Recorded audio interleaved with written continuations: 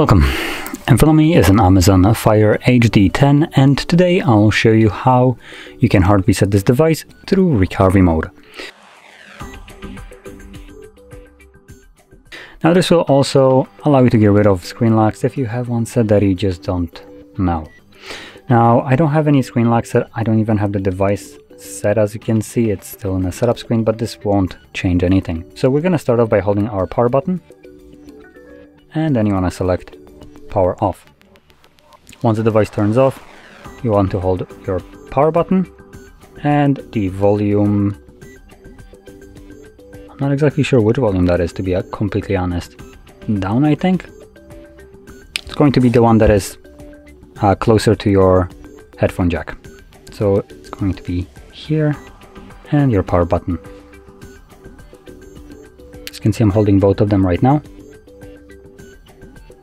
Now once you see the Amazon logo, let go of the power button. And then once you see the screen right over here, you can also let go of your volume up key. So that was volume up.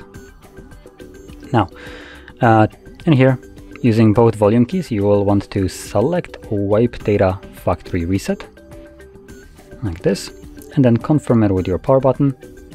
Select yes, now at the bottom you will see that it's formatting data and then data wipe complete, at which point reboot system now will be selected by default.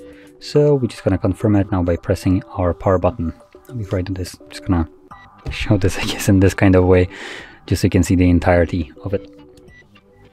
Confirm it, and it's gonna now initiate a reset or reboot and continue resetting the device in the background.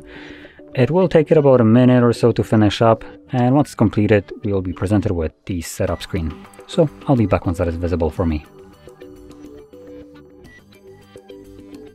And there we go.